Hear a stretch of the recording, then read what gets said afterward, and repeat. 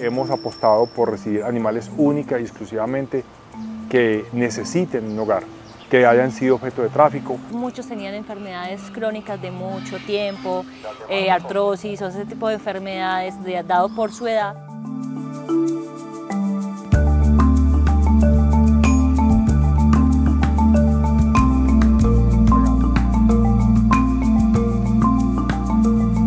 Logramos dar las condiciones de bienestar animal a los osos que tenemos acá albergados al parque, al punto de que ellos lograron tener sus comportamientos naturales, todo el tema de actividad reproductiva.